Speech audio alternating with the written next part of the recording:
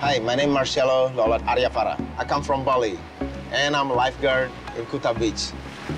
I become a lifeguard for almost 20 years now, but the first five years become a volunteer. The first time I save someone's life in the water, I see these guys drowning, and I get calling to help him.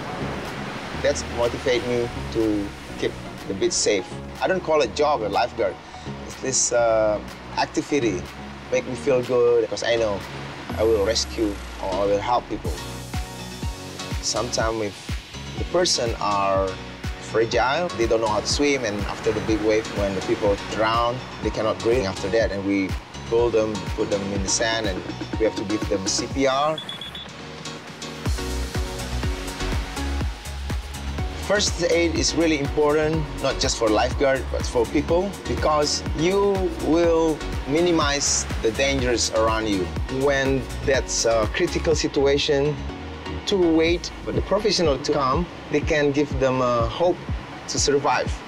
Rather than you just watch the guy and you don't know how to help. That's a horrible feeling. Is it really important for everybody to know about first aid?